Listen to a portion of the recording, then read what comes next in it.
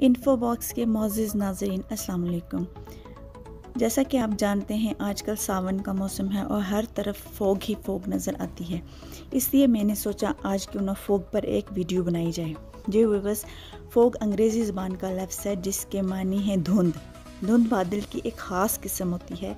ये आम बादल की तरह बुलंदी पर नहीं होते।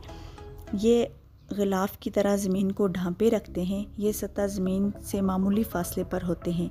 नाजरीन, धुंध उस वक्त पैदा होती है जब गर्म, नमदार हवा जल्दी से ठंडी हो जाती है। जो ही गर्म नमदार हवा ज़मीन से उठती है तो जल्द ही ये ठंडी हो जाती है। बुखारात जम जाते हैं और पानी छोटे छोटे कतरों में तब्दील हो जाता है और धुंध बन जाती है।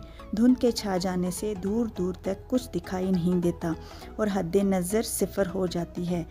दुनिया में लंदन की धुन सबसे ज़्यादा मशहूर है।